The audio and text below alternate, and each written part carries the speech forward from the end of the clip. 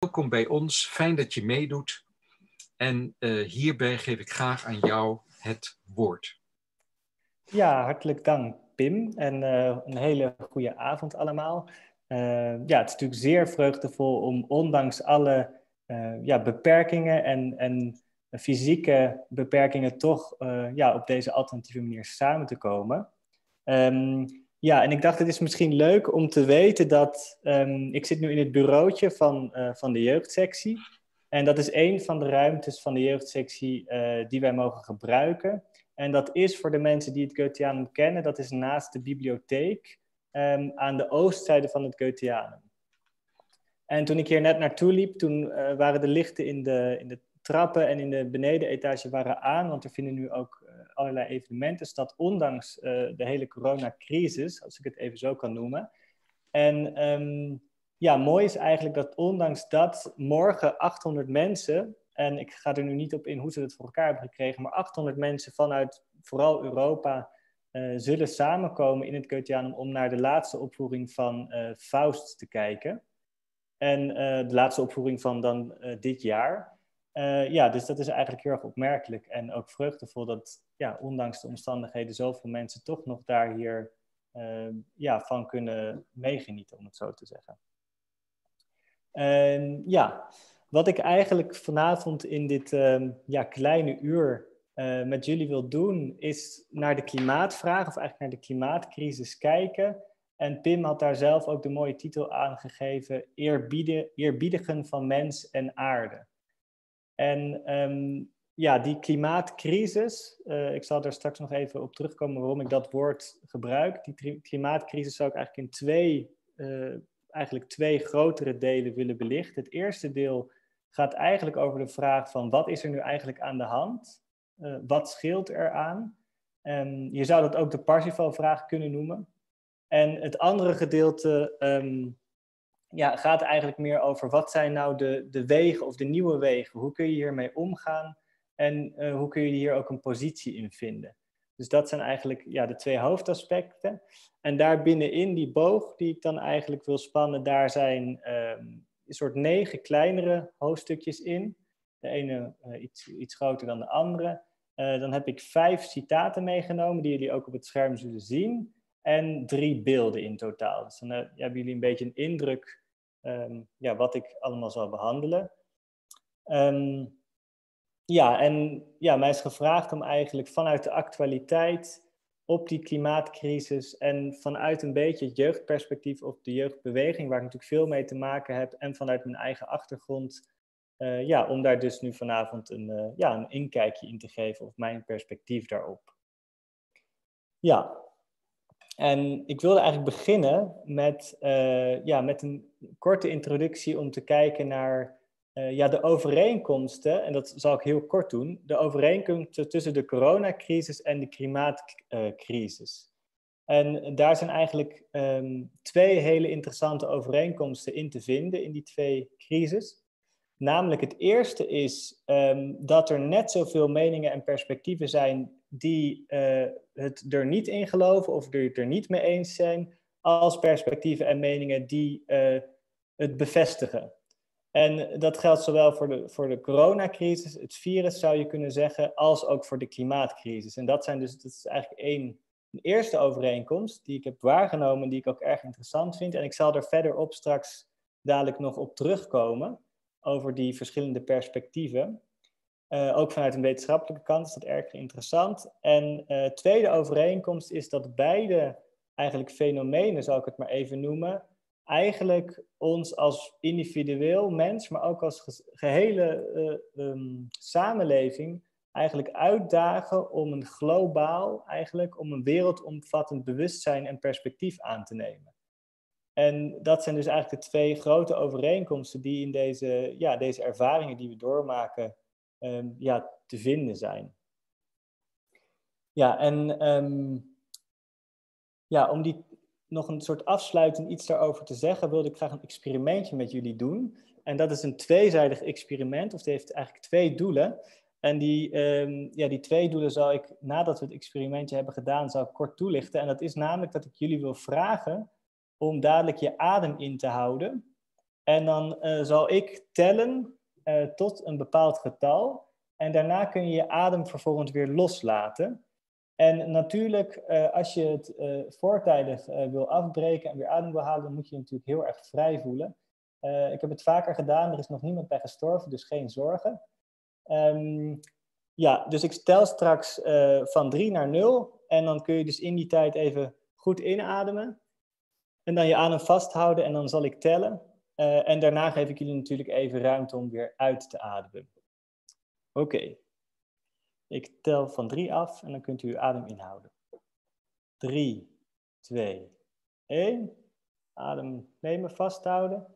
1, 2, 3, 4, 5, 6, 7, 8, 9, 10, 11, 12, 13, 14, 15, 16, 17, 18, 19 en 20. En dan kunt u weer loslaten. Even ademhalen, diep ademhalen.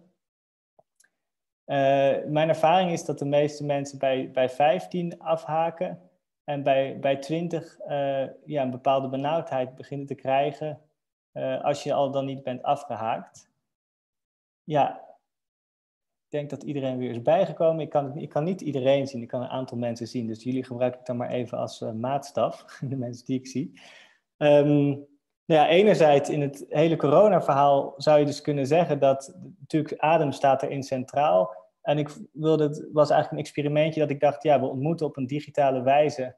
En om toch een beetje dat fysieke element erin te brengen en je lijf te voelen, is dat ontbreken van adem uh, ja, eigenlijk een hele directe manier ja, om een bepaalde aanwezigheid toch te voelen. En het andere aspect, wat meer op de klimaatvraag ingaat en ook meer op de vraag van natuur, is dat veel mensen, uh, en dat is ook mijn ervaring, mij vragen van ja, maar wat, wat is, is nou die mens? In hoeverre zijn wij die natuur zelf? Of waar begint die natuur en waar eindigt die natuur? En ik vind het zelf heel opmerkelijk dat dat een vraag is die veel voorkomt, ook in de duurzaamheidswetenschappen, van hoe definieer je die natuur nou? Sommige mensen zeggen natuur is alles wat niet aangetast is door de mens. Maar ik denk zelf, als je je adem inhoudt, dan merk je dus al na 20 seconden dat die natuur, eigenlijk dus lucht, zou je kunnen zeggen, de luchtatmosfeer, dat het dus een deel van de natuur is waar we dus onlosmakelijk mee verbonden zijn. Overigens net als al het andere, maar daardoor kun je dat even heel direct ervaren. Dat is die, eigenlijk die natuur, die ademen we als het ware in en weer uit. Dus het is eigenlijk een heel, heel intieme vraag van waar begint en waar eindigt die natuur eigenlijk. Um, ja, nou die vraag zal ik even opzij zetten en dan op de achtergrond kunnen we die meenemen. Um, ja, nou, zoals Pim zei, is de bedoeling dat ik nu 20 minuten een stuk inhoud geef en dat er daarna wat ruimte is voor uh, vragen. En die kun je dan dus via de chat stellen. Ik zou voorstellen dat als er nu, als jullie gedurende nu en die 20 minuten al vragen hebben, die alvast opschrijven, dan scheelt dat ook weer, dat je die alvast uh, ja, kunt delen. En dan kunnen we daar, ja, dan na die korte vragenpauze, kan ik dan het tweede gedeelte ingaan. Ja, ik wil nou, dus nu eigenlijk beginnen met die vraag van wat is er nou eigenlijk aan de hand met onze aarde en ook met de mens en met de verhouding tussen aarde en mens. En natuurlijk ook een stuk verder de kosmos in. Maar ik wil het nu eigenlijk bij, vooral bij de aarde en de mens houden. En um, ja, daarvoor wil ik eigenlijk uh, eh, 219 jaar terug de tijd ingaan, uh, in uh, eh, 1801. En ik wil graag een stukje voorlezen. Het is een citaat uit de biografie van Alexander van Humboldt.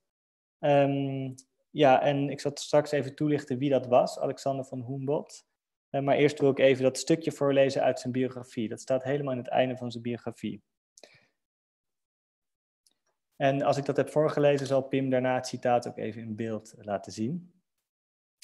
Er waren momenten in zijn leven waar hij zo pessimistisch was dat hij een sombere toekomst schilderde van de uiteindelijke expansie van de mensheid in de ruimte.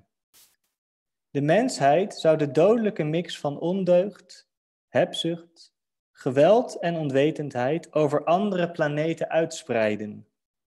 De menselijke de soort kon zelfs die verre sterren onvruchtbaar maken en ze verwoest achterlaten, schreef Humboldt al in 1801, net zoals de mensen dat al met de aarde deden.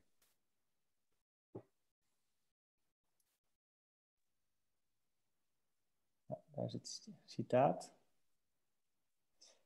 Um, Later, als u de citaten wilt, dan kunt u ook dat uh, ja, of opvragen of vanuit de video die later online komt, kunt u dat uh, overnemen.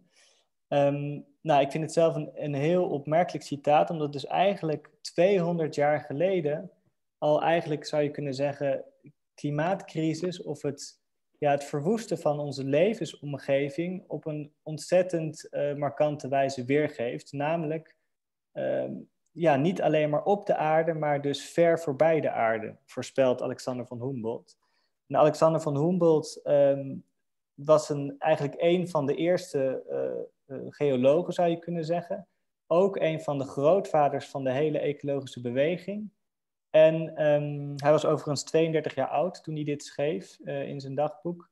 En um, hij ontmoette op zijn 25e levensjaar ontmoette die Goethe in Jena in een klein kamertje samen met, uh, met Schiller en zijn eigen broer Willem van Humboldt. En de meeste mensen kennen Willem van Humboldt als de, de, de persoon die veel voor het onderwijs heeft gedaan in Europa. Maar Alexander van Humboldt kennen weinig mensen. En um, ja, onlangs, een aantal jaar geleden, door een nieuwe biografie, is hij weer opnieuw uh, eigenlijk uitgelicht, ook in de wetenschappelijke wereld. En hij heeft een enorme bijdrage geleverd aan het begrip van, van eigenlijk de natuur en de aarde. En um, ja, eigenlijk zijn essentie was dat hij steeds weer heeft gezegd, we moeten de samenhang zien. We moeten de samenhang van al het levende wezen wat op aarde zit, moeten we zien. En als je ergens aan de ene kant van de wereld een ingreep doet, is dat overal, heeft dat overal zijn uitwerking, merkbaar en onmerkbaar. En Alexander van Humboldt kan ik nog veel over vertellen, maar ik zou eigenlijk aanraden uh, voor iedereen die geïnteresseerd is om zijn biografie te lezen. Het is ontzettend spannend. Uh, die is geschreven door Andrea Wolf. Um, Andrea Wolf, dat kunt u ook nog terugvinden in de, in de slides. En um, ja, daar wordt eigenlijk ingegaan hoe hij in zijn leven, hij is 89 jaar oud geworden, hoe hij in zijn tijd als de meest invloedrijke en belangrijke wetenschapper werd gezien. En dus al zo ontzettend visionair was, dat hij dus meer dan 200 jaar geleden al kon zien dat wij vandaag de dag uh, ja, eigenlijk op een enorm vervreemde manier uh, in, in de verhouding met de aarde zouden geraken, wat natuurlijk ook is gebeurd. Ja, en ik wil dat citaat nu even laten voor wat het is. En dat komt straks uh, nog terug, het citaat. Of eigenlijk de inhoud van het citaat komt dadelijk terug. Dus houd even bij u. Ja, een, een stukje dichter bij huis, uh, historisch gezien, um, wil ik nog een belangrijk punt eigenlijk uh, bespreken in de vraag van wat is er nu eigenlijk aan de hand. En dat was in het jaar 1972. En daar heeft de zogenoemde Club of Rome, dat was een, een, club van Rome, een club van wetenschappers, prominente wetenschappers, die hebben eigenlijk een, een publicatie geschreven die voor het eerst uh, vanuit de wetenschap eigenlijk een grote noodkreet aan de wereldwijde samenleving probeerde te stellen. En ze, ja, je kunt het zien, ze hebben de noodklokken geluid. En dat rapport heette De Grenzen aan de Groei. Dat is voor velen misschien wel bekend. Het is het meest verkochte wetenschappelijke werk ooit. Het is 9 miljoen keer verkocht. Dat is voor een wetenschappelijk werk ongekend. En destijds hebben zij eigenlijk het volgende gezegd, die groep mensen.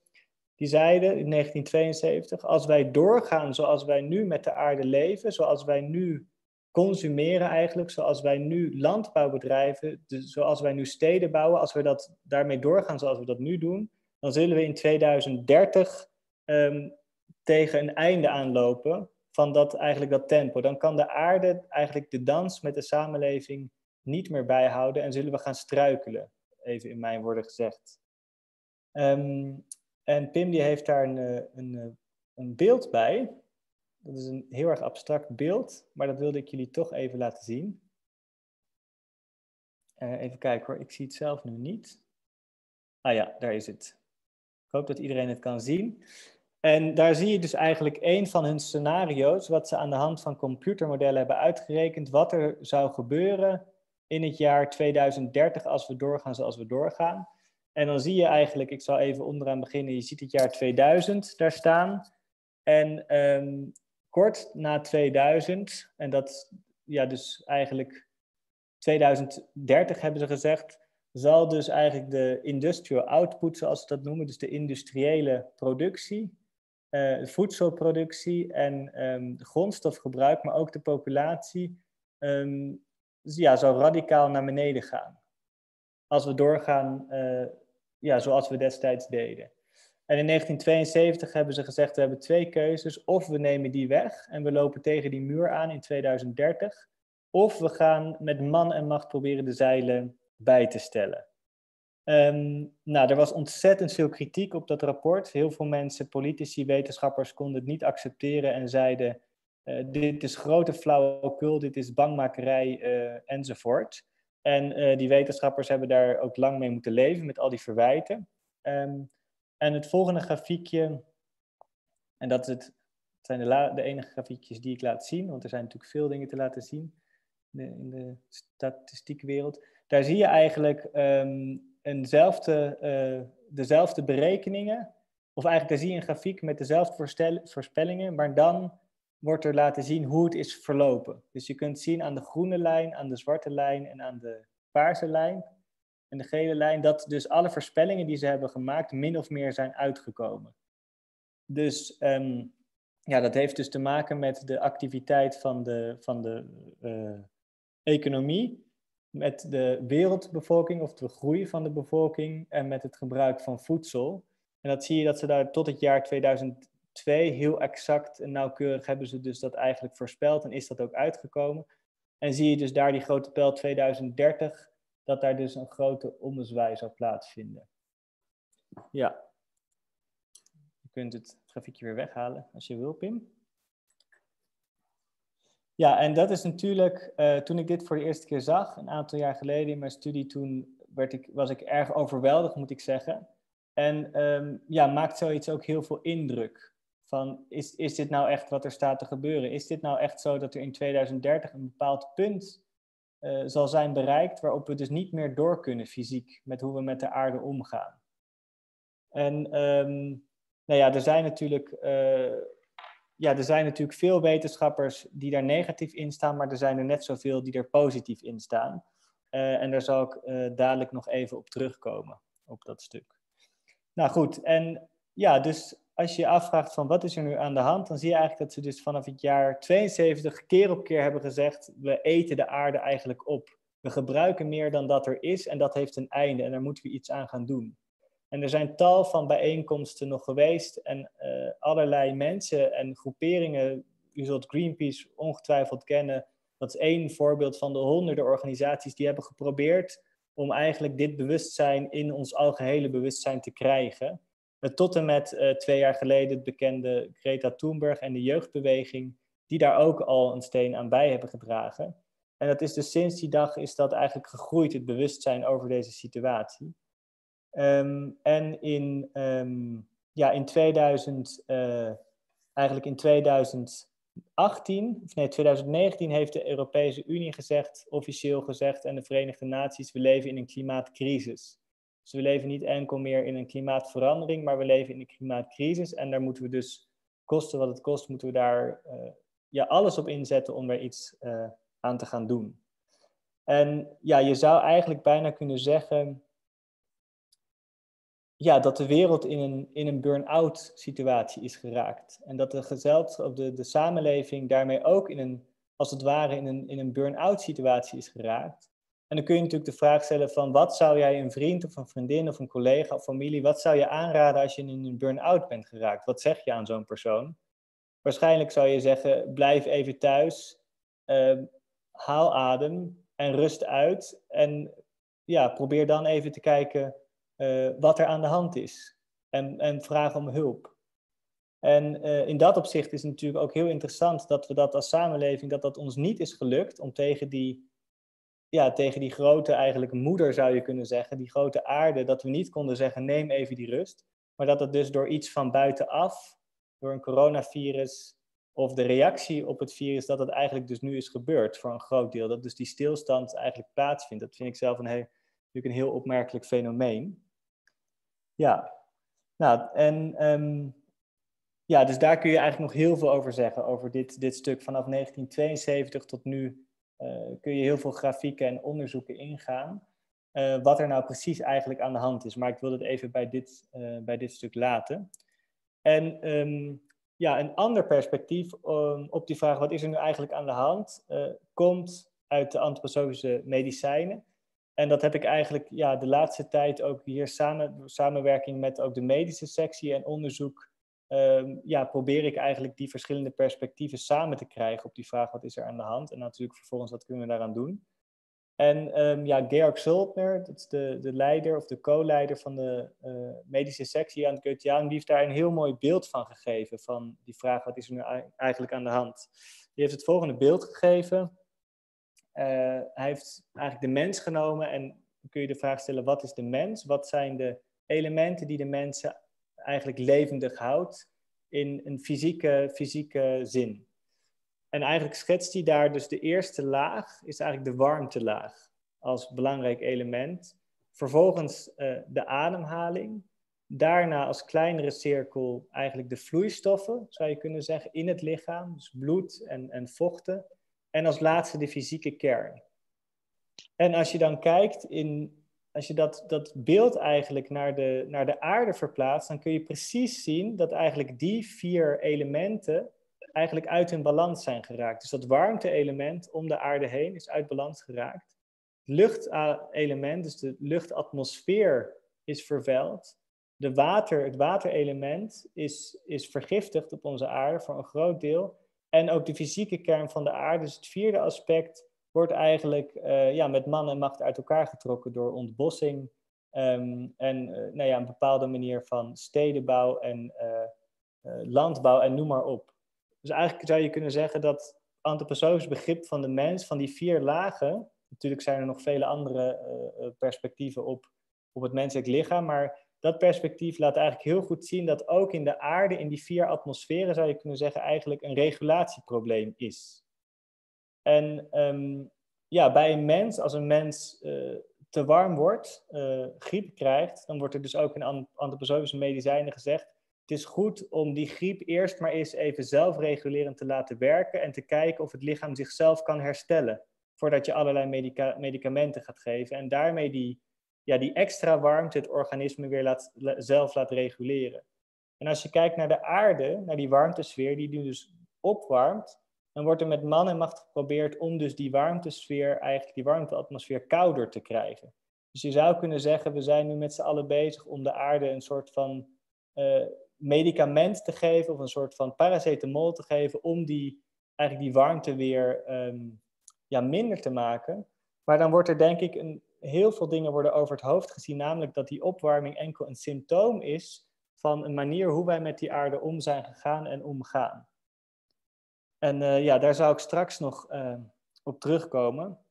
Maar dus eigenlijk die samenvatting van die vier sferen, dus die warmte, die lucht, het wateratmosfeer en de, en de fysieke atmosfeer, dat is dus uit balans. En je zou dus kunnen zeggen, wat is die klimaatcrisis?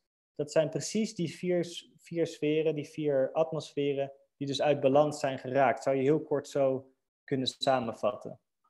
En um, ja, nu wil ik een tweede citaat met jullie delen uh, van Rudolf Steiner. Uh, die daarop in is gegaan. En um, ja, later zal de bron er nog bij komen. En dat wil ik even voorlezen. Het is een langer citaat van drie alinea's. Um, ja. Dus in 1923 in Dornach, uh, tijdens een lezing, heeft hij, dit, uh, heeft hij dit aangegeven. En inderdaad, als de, als de mensen, oh sorry, en inderdaad, als de mens zijn gedachten niet verlevendigt, als de mens stopt bij louter intellectualistisch dode gedachten, zal hij de aarde breken. Maar het breken begint met het dunste element, de warmte. En in de vijfde na-Atlantische periode, vandaag de dag dus, heeft men slechts de mogelijkheid om de warmteatmosfeer van de aarde te bederven door een steeds verdergaand stimuleren van de louter intellectualistische gedachten. Maar dan komt de zesde na-Atlantische periode. Als de mensheid tegen die tijd niet is veranderd van intellectualisme in imaginatie, zou niet alleen de destructie van de warmtesfeer, maar ook de luchtsfeer beginnen.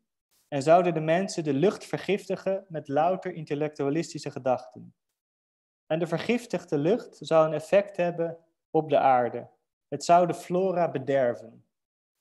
En in de zevende na-Atlantische periode heeft de mens vervolgens de gelegenheid gehad om het water te bederven. En zijn uitademingen, als het resultaat waren van louter intellectualistische gedachten, zouden overgaan in het algemene vloeibare element van de aarde, het water dus. Uit het algemene vloeibare element van de aarde zou eerst het minerale element van de aarde worden verwijderd. En als de mens zijn gedachten niet verlevendigt en zo terugkeert naar de kosmos, wat hij van de kosmos heeft ontvangen, heeft hij een goede kans om de aarde te versnipperen.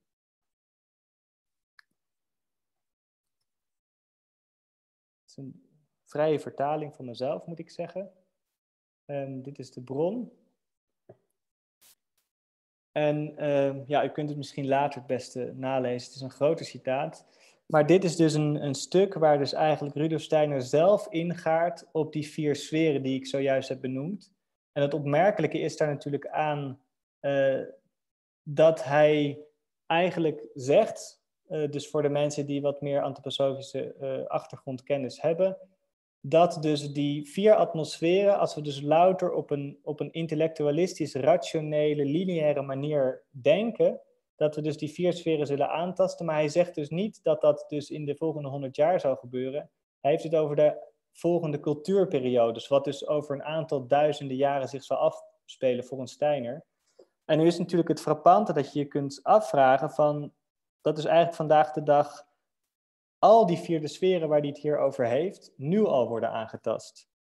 Dus je zou kunnen zeggen, dat is een soort werkhypothese, dat er een enorme versnelling plaatsvindt in eigenlijk die, um, ja, het aantasten van, die, van dat levende wezen, eigenlijk van de planeet, van de, van de aarde waar we op leven.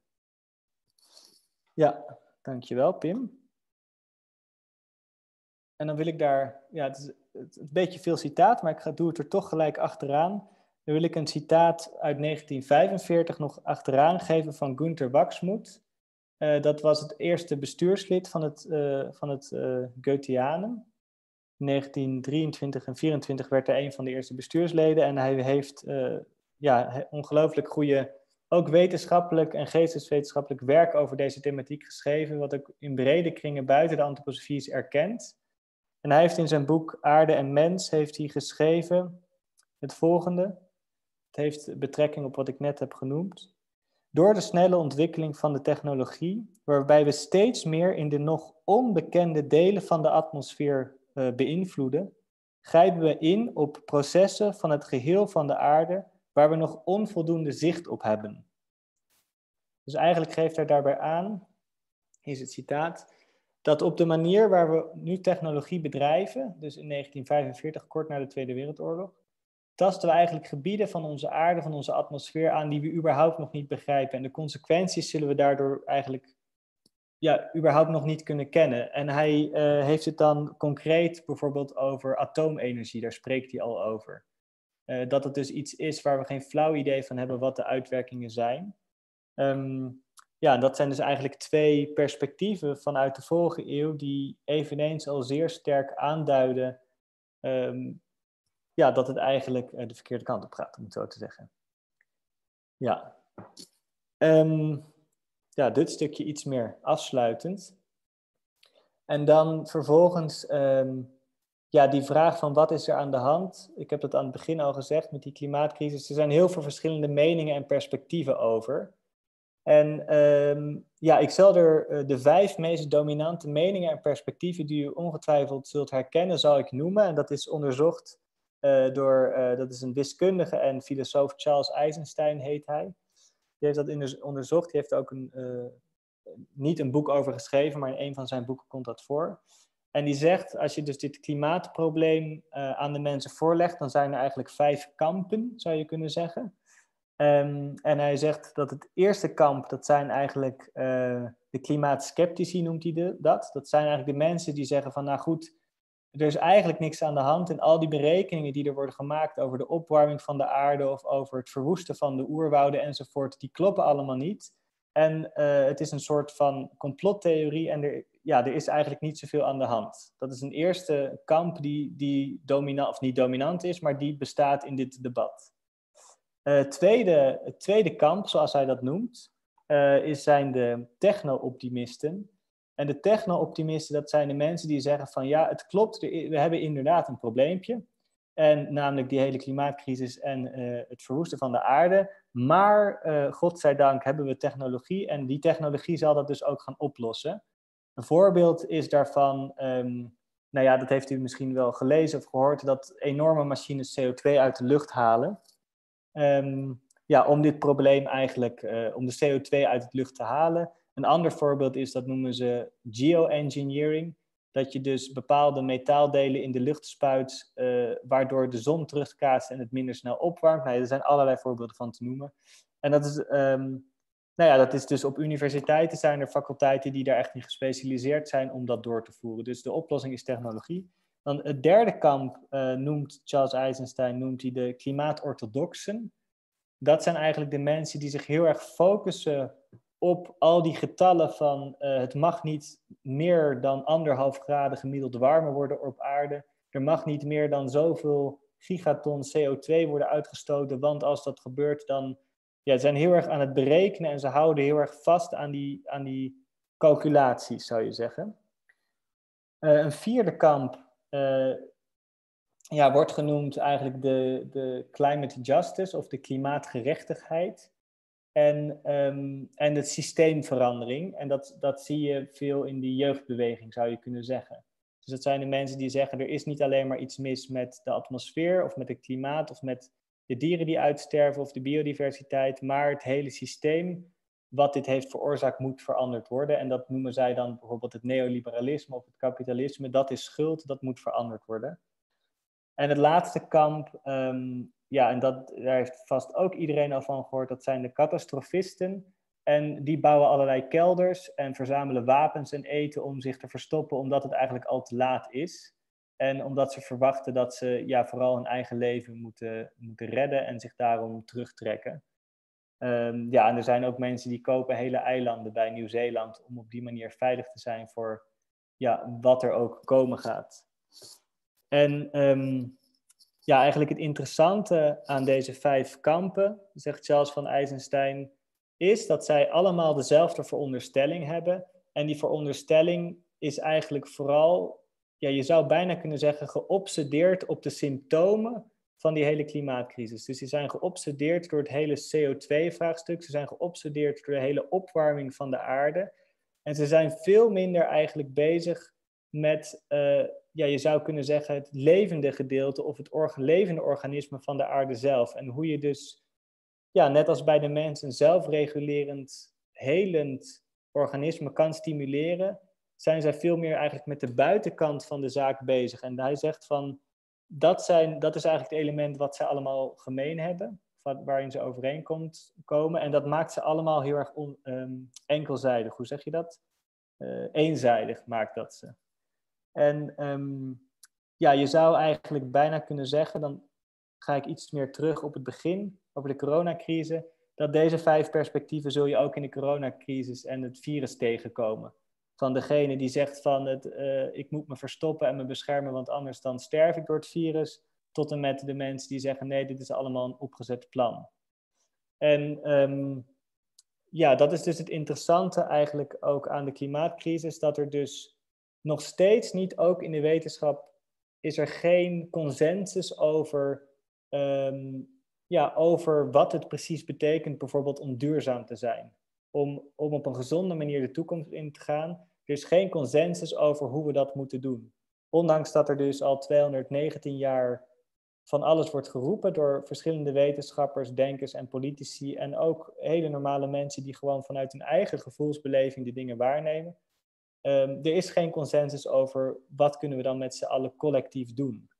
En uh, eigenlijk die grondstemming in de ziel zou je kunnen zeggen, ehm, die is eigenlijk nu door, ja, door de hele coronacrisis nog een keer versterkt. Dat er dus eigenlijk, nou, het is, het is zelfs zo dat je dus in ieder land heeft zijn eigen regels tegenwoordig, net als met het klimaat. Ieder land heeft zijn eigen beleid. En nu zelfs heeft uh, iedere provincie heeft zijn eigen beleid, iedere stad heeft zijn eigen beleid. En je zult waarschijnlijk ook wel herkennen dat met de corona dat iedere familie ook zijn eigen beleid heeft. Dus de zus vindt dit, de oom vindt dat en de broer doet zus en de tante doet zo.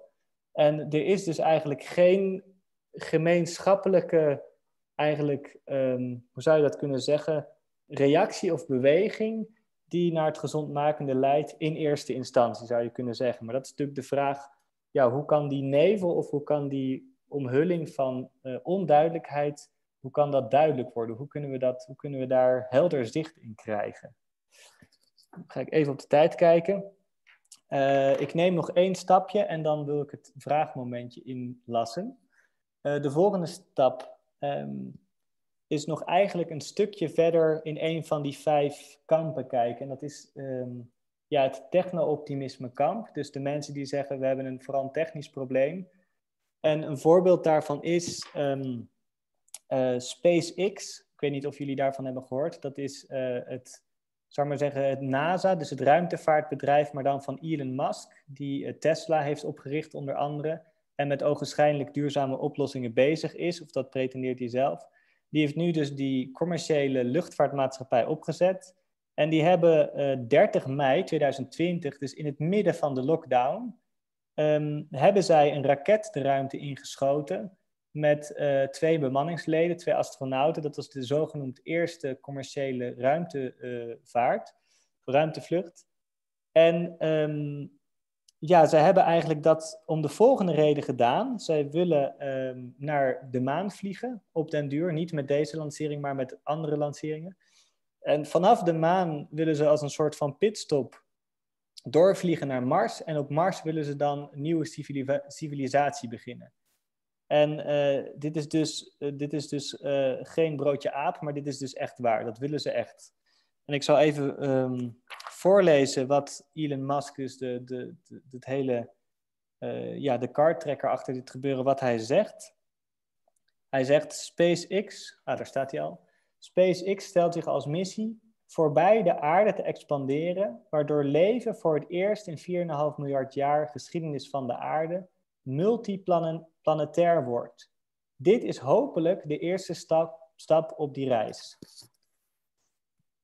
Nou, dan moet je dus voorstellen dat dus de hele wereld thuis zit uh, ja, op, uh, in mei 2020.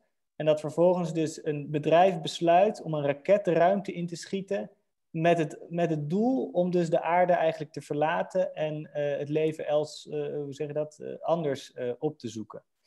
En het interessante is daaraan is dat de naam van deze raket, en u zult het niet geloven, maar de naam van deze raket is Dragon, draak.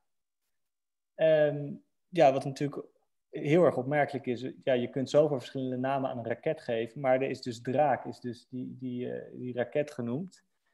En uh, ik heb daar, ja, dit, dit is nog een soort intermezzo, maar ik heb daar eens over nagedacht van als je die lijn van denken nou eens doorvoert, hè, we gaan dus op, op Mars leven, wat zijn dan de voorwaarden waar, waarmee we dat kunnen doen? Wat hebben we nodig om op Mars te leven? En dan zul je dus eigenlijk ontdekken dat op Mars de warmteatmosfeer ontbreekt, dat op Mars de luchtatmosfeer ook ontbreekt, dat de vloeibaarheidssfeer ja, ontbreekt, of tenminste bevroren is, daar wordt nog over gediscussieerd. En eigenlijk de fysieke substantie ontbreekt ook. Want wat gebeurt er als je te lang in de ruimte zonder uh, gravitatie bent? Dan eh, zullen je, je botten poreus worden. Dus eigenlijk de voorwaarden die wij nodig hebben om, om op Mars te leven, is een digitale voorwaarde. Dus eigenlijk de context die we nu hebben geschapen met elkaar, we zitten nu met bijna 100 mensen in een digitale ruimte.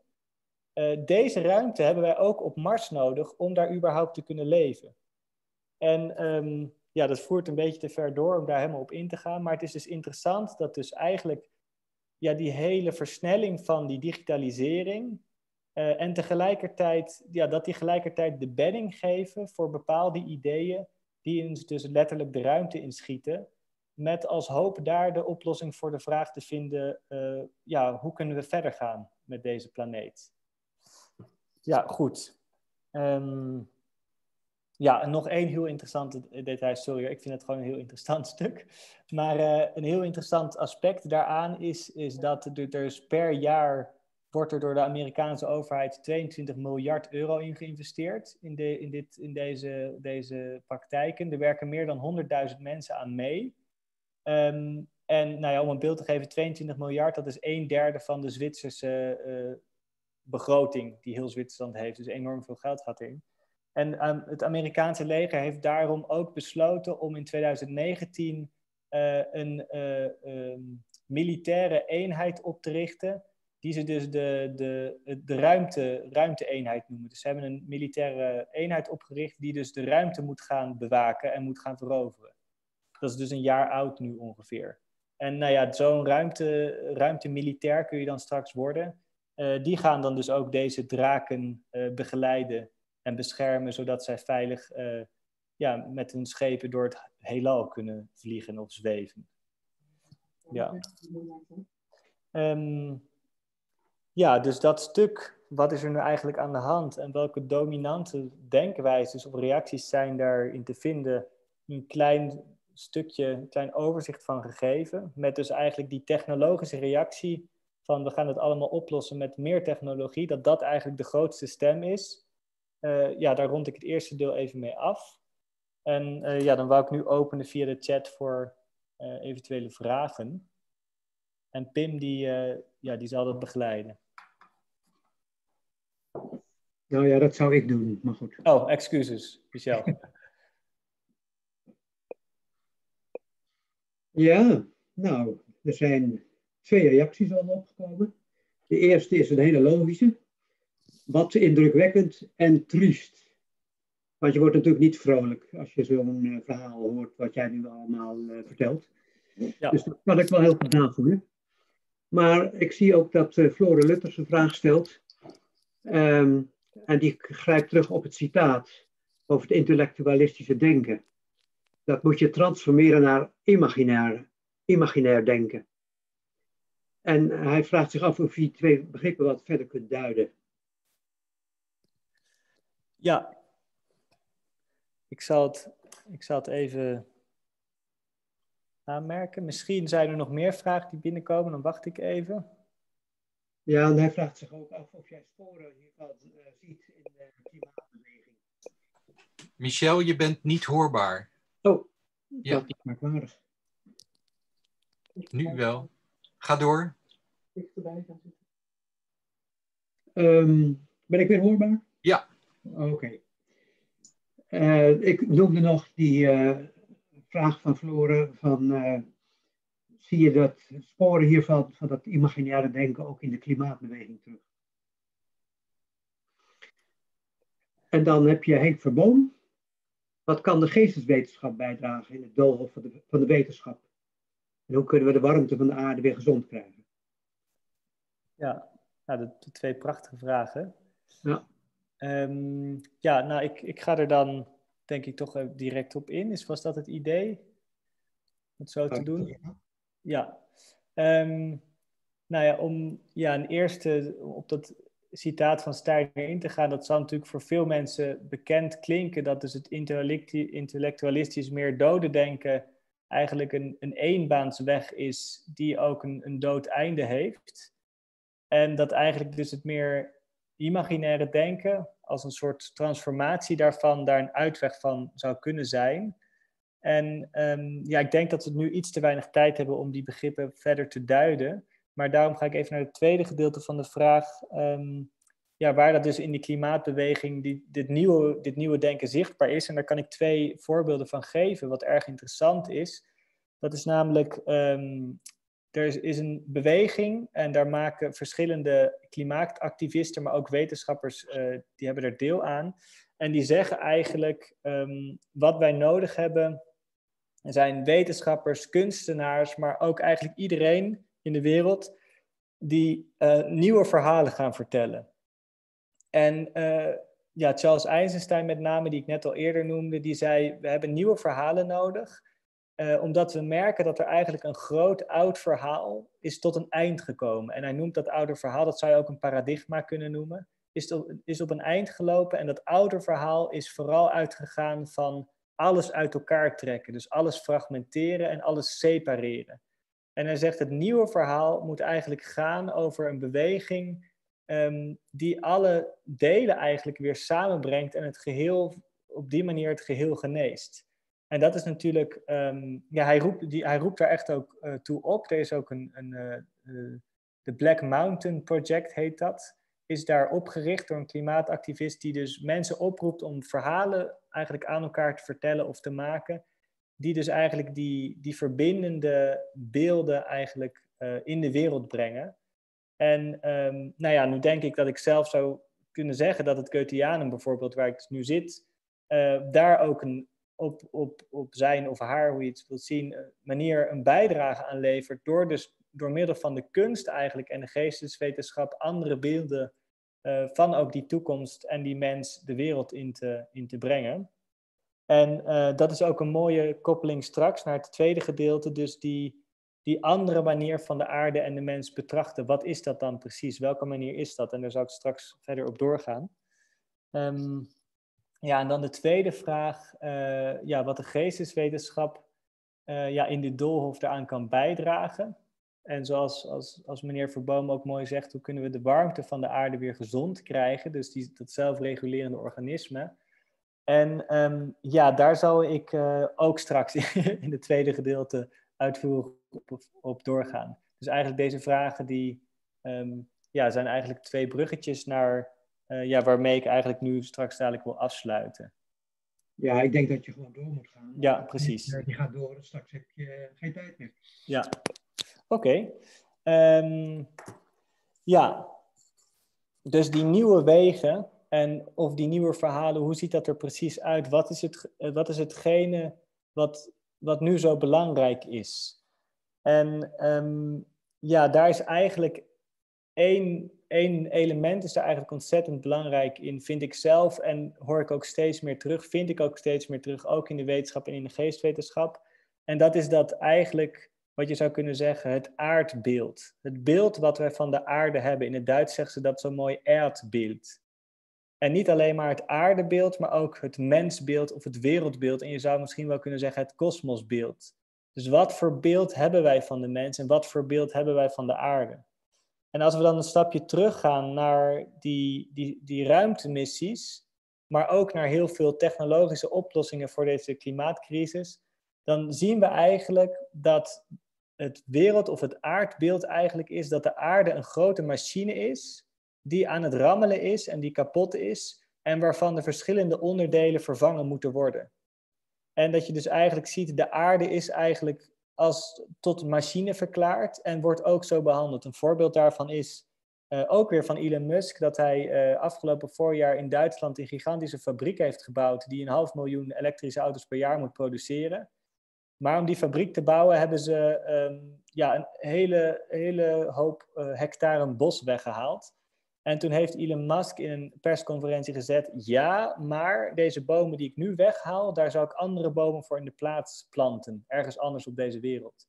En dat laat eigenlijk zien dat we, de, dat we de wereld niet als levend wezen of als levend organisme betrachten, maar als een soort van apparaat waar je het ene weg kunt halen en het andere voor in de plaats kunt zetten. En er dan maar van uitgaat dat dat werkt. En dit is op ontzettend veel verschillende uh, gebieden doorgevoerd. Een groot voorbeeld is in China dat ze daar de zogenoemde groene muur hebben geprobeerd op te zetten. Dus niet de Chinese muur, maar de groene muur hebben ze duizenden kilometers bos aangeplant.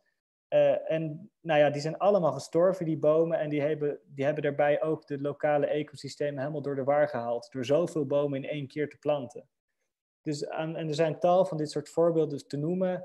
Uh, waar de mensen eigenlijk op een hele technische, mechanische manier ingrijpt en uh, vervolgens de aarde nog meer uit balans brengt.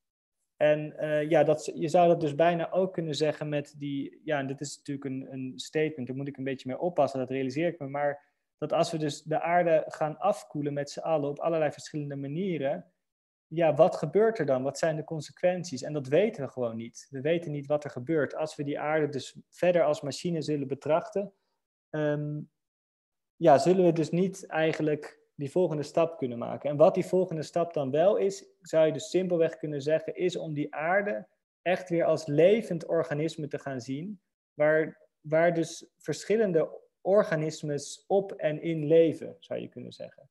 En natuurlijk kun je dat, ja, dat kun je heel erg empirisch, dus, dus eh, feitelijk en fysiek kunnen bekijken. En natuurlijk komt het hele geesteswetenschappelijke uh, stuk ook nog bij, om op een nieuwe manier die aarde, uh, ja, die aarde te gaan bekijken. Daar kom ik straks nog op terug.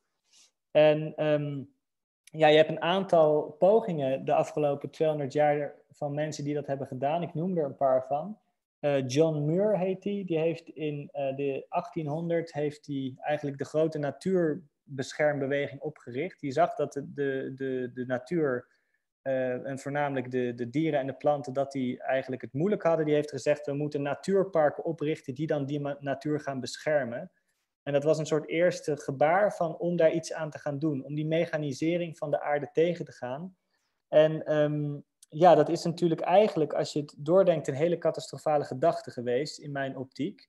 Want als je dat dus doorvoert, je maakt dan dus een natuurpark, je beschermt een gebied waarvan je zegt, hier mag je niet aankomen.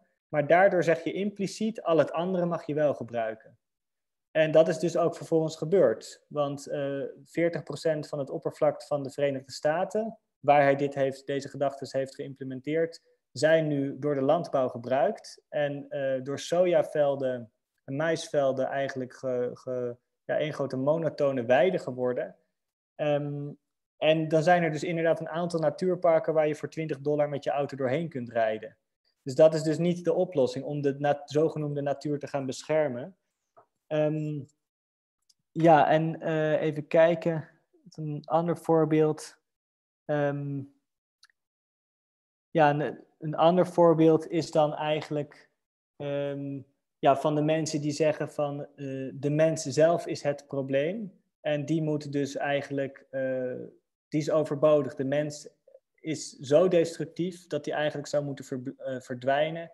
Om dus de, ja, de natuur weer in balans te brengen. En om, dat, om die aarde eigenlijk weer, um, ja, hoe zeg je dat, in evenwicht te brengen. En dat is natuurlijk een andere extreme wijze van denken die ons ook niet verder gaat brengen. En Gunther Waxmoed, die ik net ook al aanhaalde, die roept eigenlijk op, en dat, um, ja, dat is een hele belangrijke oproep. Hij zegt dat beeld van een levende aarde, om de aarde als organisme te zien en niet als machine, ook niet als planeet of ster, maar als levend organisme of als levend wezen, dat is een beeld die moeten we eigenlijk in ons laten werken en leven. En dat heeft tijd nodig voordat dat daalt in de mensheid. Dat heeft simpelweg tijd nodig. En we hebben onszelf door een bepaalde bewustzijnontwikkeling losgemaakt van die natuur en van die aarde. Maar nu is het dus taak om ons vanuit die individualisering weer terug te verbinden met die aarde eigenlijk. En dus dat is één aspect waarvan hij zegt dat heeft uh, tijd nodig. En um, ja, nu kom ik een beetje uh, richting het einde en dan geef ik ook, ja, probeer ik antwoord te geven op die andere twee vragen. En dat is eigenlijk dat um, ja, dat dus die, hoe kun je dus die nieuwe wegen gaan verkennen? Eigenlijk met, uh, met de intentie om dus die aarde als een levend organisme te gaan zien, kun je eigenlijk twee verschillende houdingen of twee verschillende perspectieven in aannemen. En het ene perspectief is meer het uiterlijke perspectief. En dat is ook meer het collectieve perspectief van wat kunnen wij nou concreet aan die hele verandering doen.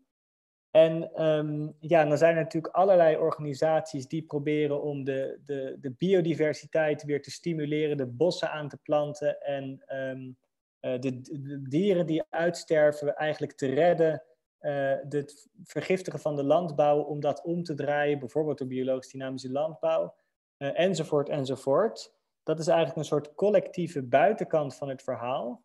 En um, ja, in die, eigenlijk in die reactie kun je nog wel vaak zien dat daar eigenlijk het, het hele technische en mechanische wereldbeeld nog steeds heel erg dominant is. Dus dat is eigenlijk een soort opgave, zou je kunnen zeggen, om in dat planten van een bos, om dat niet te zien als een soort van uh, mechanische actie, maar om dat eigenlijk te zien als een, ja, zou je kunnen zeggen, als een soort uh, ja, orgaan zelfregulatie, zou je bijna kunnen zeggen. Dat het orgaan bos zichzelf weer in balans kan brengen om daaraan bij te dragen, in plaats van een kapot deel te, uh, ja, te vervangen.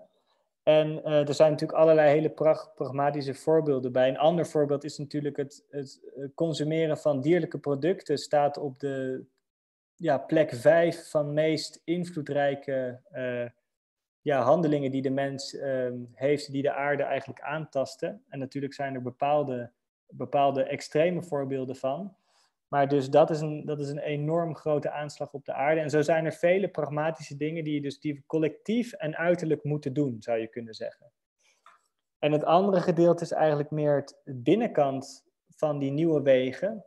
En ehm, ja, dat is meer het, individuele, het individuele vraagstuk van ja, wat, wat ieder van ons betreft. En ehm, ja, daar heb ik een aantal, um, ja, een aantal hypotheses bij opgeschreven, waar, wat je als werkhypotheses zou kunnen zien. En ik, ik noem ze even.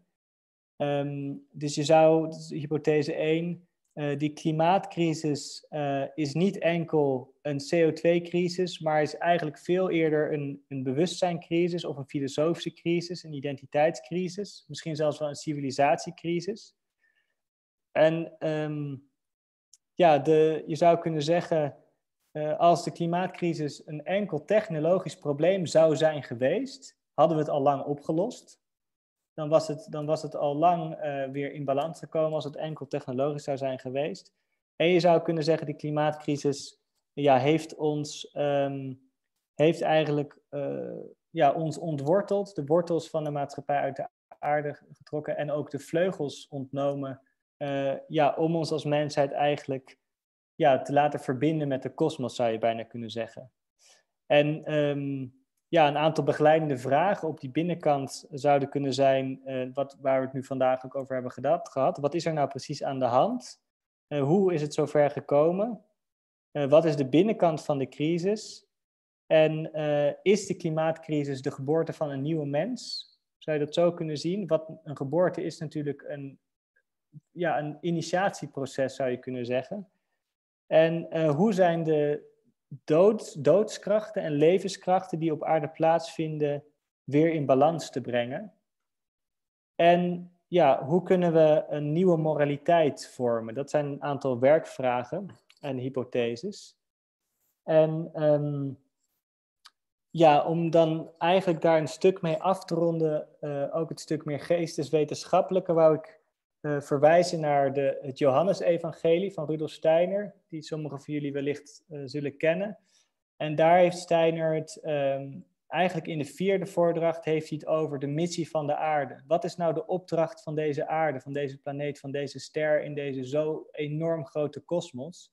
Waar overigens, zover wij weten, deze aarde de enige aarde is met deze vorm van leven. En wat is nou de opdracht van deze aarde zelf en daarmee ook van de mens? En dan zegt Rudolf Steiner eigenlijk in het Johannes-evangelie, de opdracht van de aarde is om de planeet van de liefde te worden. En dat klinkt dan, zou je misschien kunnen zeggen, heel erg ver weg en abstract. Um, maar dan zegt hij van, hoe kunnen we dat nou als individu doen? Hoe kun je dat als mens vanuit, eigenlijk vanuit je binnenkant omvormen? En dan zegt hij, dat kunnen we doen door in eerste instantie het egoïsme te overwinnen, die in ons allen leeft en ook in de, in de, in de samenleving leeft.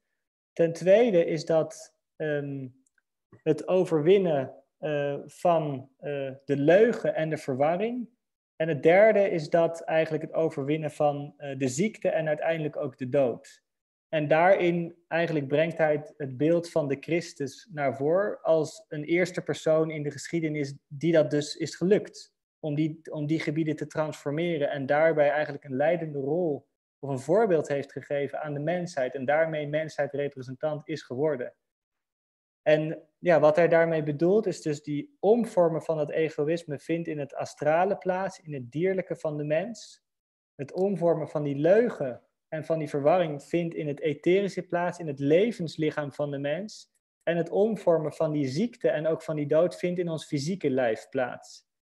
En dat is, een, dat is een opgave, omschrijft hij, waar die eigenlijk de grotere opgave van de aarde, om dus planeet voor de liefde, van de liefde te worden, om dat te begeleiden.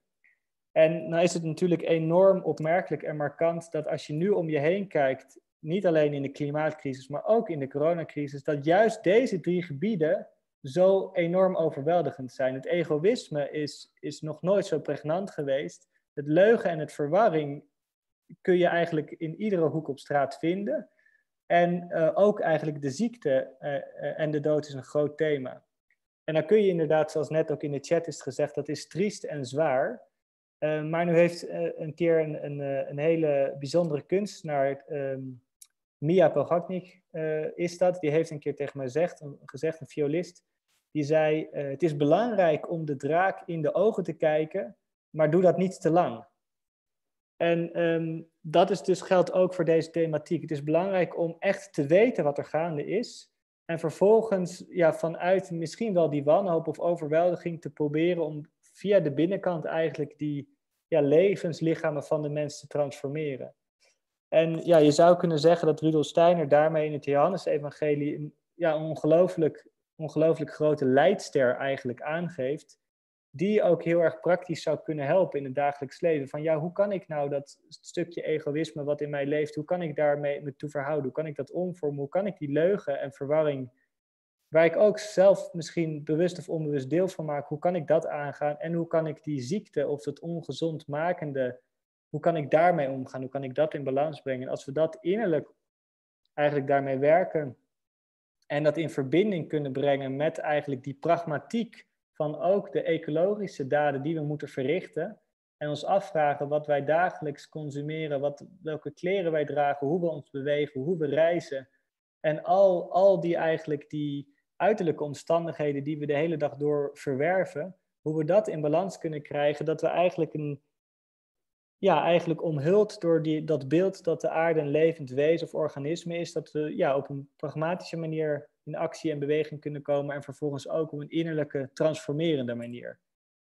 En um, ja, ik, ik besef mezelf dat zijn enorme leidsterren en uh, grote abstracte beelden.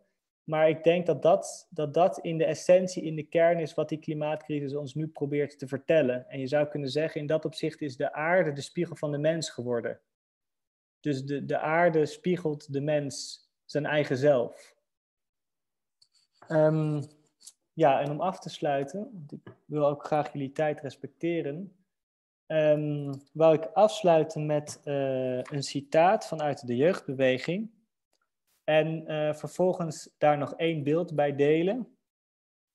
En dat citaat uh, zal ik eerst lezen en dan verschijnt het in beeld. En dan zal, ja, dan zal ik kort daarna zeggen wanneer dat is gezegd. En dat is dus een citaat van een persoon die begin 20, 20 is, of was. Um, en die uh, deel uitmaakte van uh, een, e een van de eerste ecologische jeugdbewegingen überhaupt. We moeten uit de luie en laffe passiviteit komen. Weg van de massa en de meeloperij. Weg uit het oppervlakkige en het uiterlijke. Weg uit de lege dogma's en de dode theorie.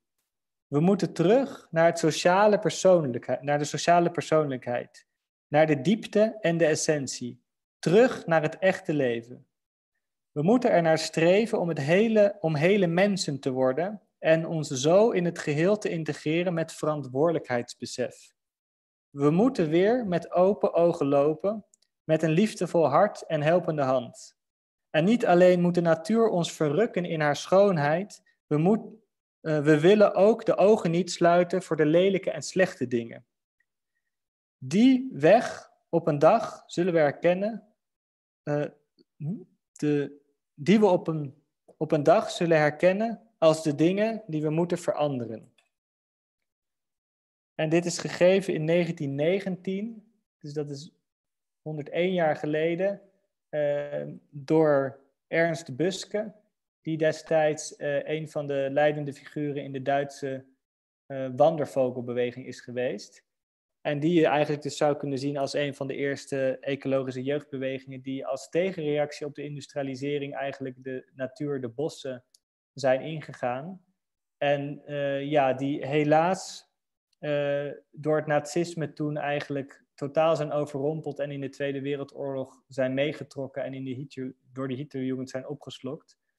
Maar als je ziet wat hier dus iemand van begin 20 jaar, op wat voor een toon deze persoon spreekt, dit jonge mens, ja, dan getuigt dat voor mij van een ja, enorm grote diepte, enorm grote zielendiepte die een jong mens toen al heeft kunnen geven en die, ja, naar mijn mening, ja, meer dan actueel en treffender is dan, uh, dan ooit tevoren. En uh, ja, daarmee afsluitend met een uh, schilderij. Kunnen jullie letterlijk mee naar huis nemen. En dat is een werk, dat heet De Verwonde Engel. En dat is van Hugo Sinberg. Dat is het schilderij. Dat is in 1903 gemaakt. Uh, en uh, het is het nationale, in 2006 is het tot het nationale schilderij van Finland uitgeroepen. En dat kun je zien in Helsinki, in het Atheneum. En ik denk dat dit schilderij op een, uh, wederom op een, op een ongelooflijke manier zowel de actualiteit als de jeugdbeweging als de hele klimaatcrisis en eigenlijk ook het geestes- of het geesteswetenschappelijke perspectief ja, eigenlijk verbeeld, zou je kunnen zeggen.